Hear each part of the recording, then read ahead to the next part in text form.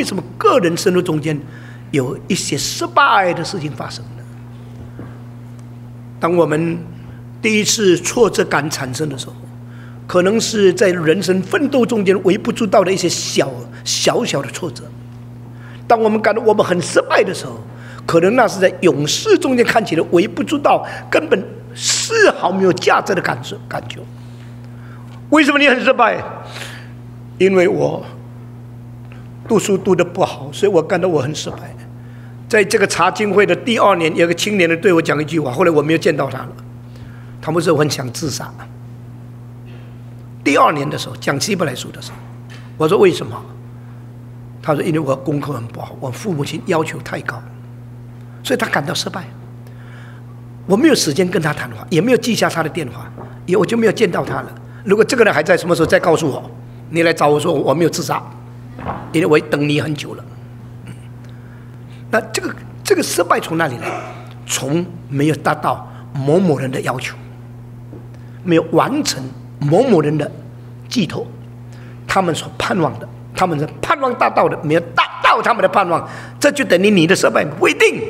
因为很多做父母的非常非常残忍，把太小的孩子带到学校去读书，五岁读小学一年级，高兴的是你。没事，哎呀，你的孩子几年级？六岁，二年级了，你高兴的不得了。辛苦的是他，你让他背一个永远没有赏赐的十字架，你让他做一个没有办法禁止，一定要向前一直走，而不知道到哪里去的一个一一一部车，你让他成为一个没有把握控制自己能够得胜环境的一种危机的生涯，许多太小的年龄都。比他年龄更高的年纪的输的，那是一种精神的迫害，但使他永远感到他失败，永远感到他没有成就感。其实呢，他不应当有这样的失败，这是你加害给他的。所以我告诉你，你们的孩子如果年龄到的时候，再给他过半年才读书，让他比别的孩子大一点点不要紧，迟半年毕业不要紧，因为他个子比别人大，还可能做班长呢。